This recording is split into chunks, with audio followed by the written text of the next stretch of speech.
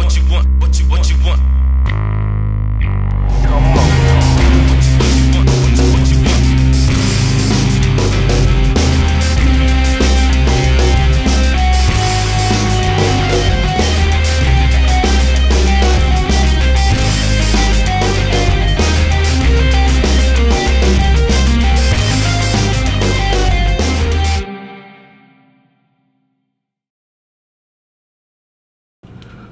What's going on, everybody? This is Pharaoh Black bringing you another review. This time it's of the Batman Arkham Origins Killer Croc figure. Um, this figure is different than the original release.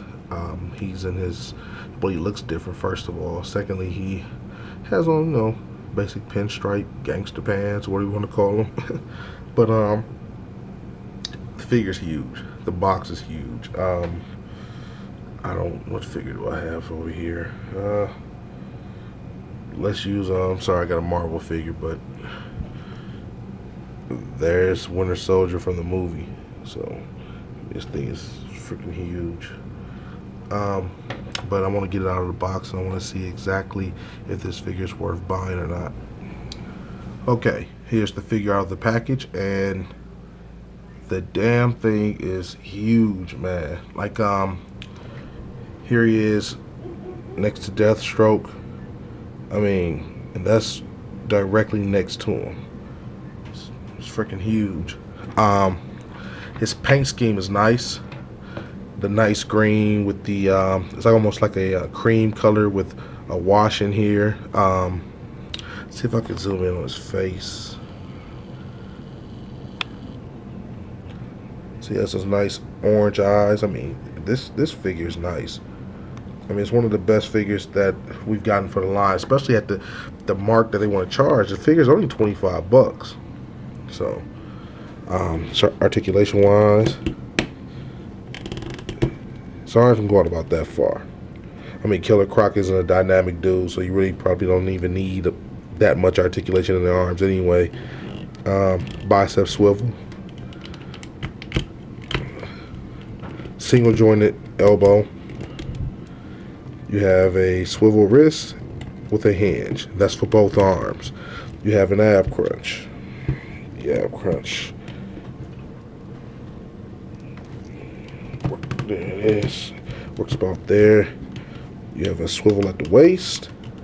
Then you get to the legs. Now be careful with the legs. What you want to do with the legs is you want to roll them. What I mean by that is, is the way that they're shaped is exactly how you want to move them carefully roll them around. And if you do, you're going to get a nice split out of them. Not that he will be doing any splits, but you're going to get one out of them. So that's pretty good. Uh, as far as his um, knees go, single joint, be careful. Has a swivel to it as well.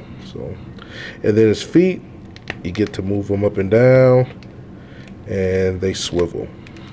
He is very hard to stand, I will not lie. On his own, I mean, definitely you should try to find some type of stand if you're going to have him standing on your shelf because he's going to fall and you're going to have a problem with it breaking. I can already tell that.